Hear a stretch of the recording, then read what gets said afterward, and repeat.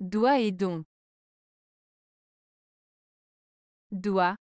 Le mot doit est une forme du verbe devoir à la troisième personne du singulier du présent de l'indicatif.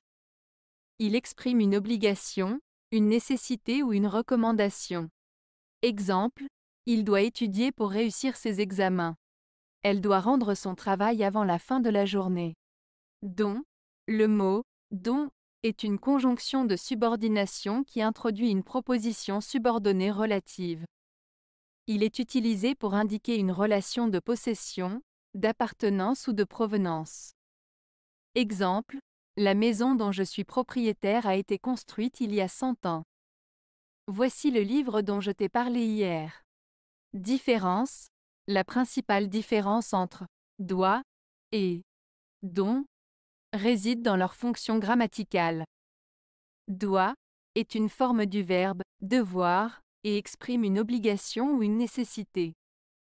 Don est une conjonction de subordination et introduit une proposition subordonnée relative pour indiquer une relation de possession ou de provenance. Il est important de noter que doit est utilisé avec un sujet singulier, tandis que don peut être utilisé avec un sujet singulier ou pluriel.